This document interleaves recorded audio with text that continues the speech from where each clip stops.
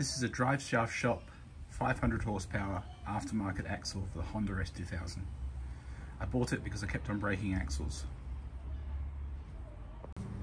To my surprise, it actually fits quite well on the left hand side. The right hand side, not so. And that's where this comes in. This is a longer drive shaft. Also from DSS.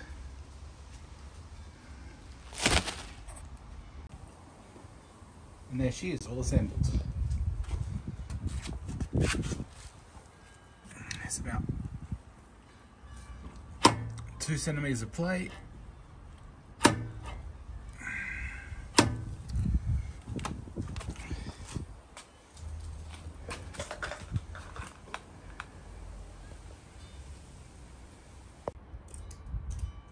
There it is, the whole rear subframe with a Tesla motor all suspension and axles all mocked up.